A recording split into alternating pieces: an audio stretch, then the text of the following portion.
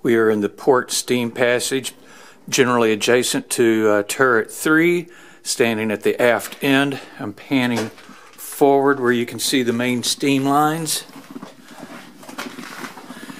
Walking forward, deck's in good shape.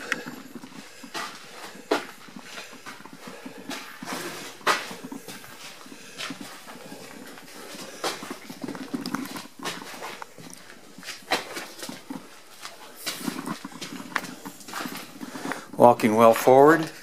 On the deck is one of the uh, thrust bearing saddles. There are numerous large parts in here. I will photograph those in a few minutes.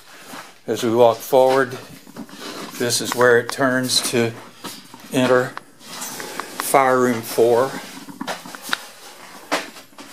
Outboard of this is fuel oil tanks.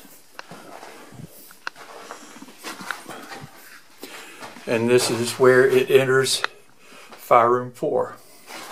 I will turn around and walk aft.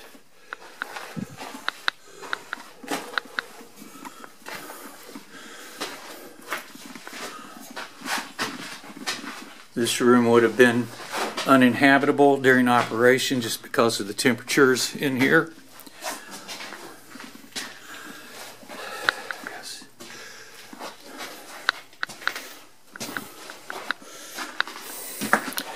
As we continue aft,